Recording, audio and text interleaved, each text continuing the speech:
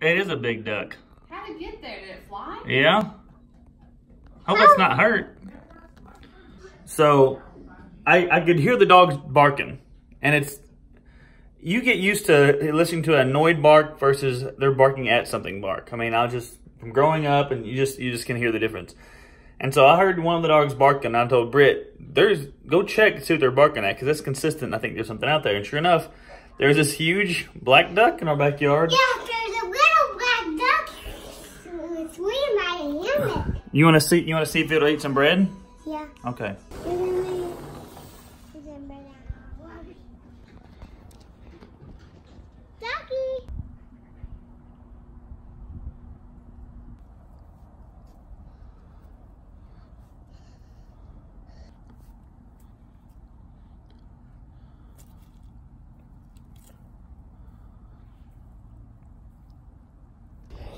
So I'm afraid the dogs are gonna get out and hurt the duck, and so I'm gonna try to catch it and put it in the front yard so it can uh, figure out where it's going without being killed by our dogs.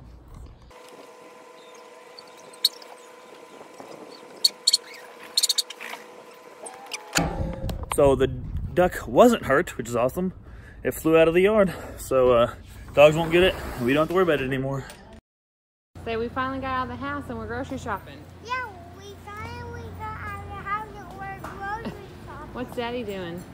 He's going to bed sister and me. Oh, and he's coming up there. What are you eating? Popcorn chicken. Hey, can you tell me what all we got at the store? We got this and this and this this. What are those? Groceries. Groceries? Yeah, Did you get a treat?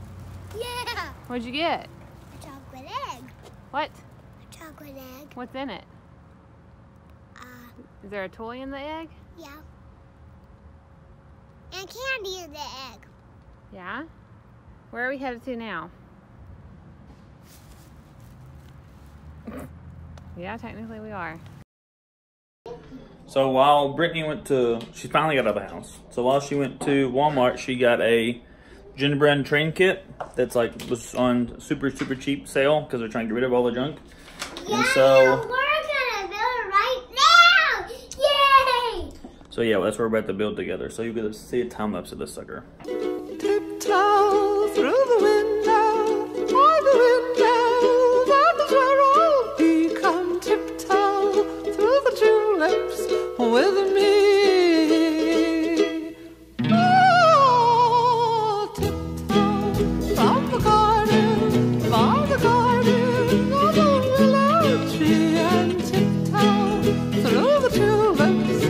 So nothing worked like it was supposed to.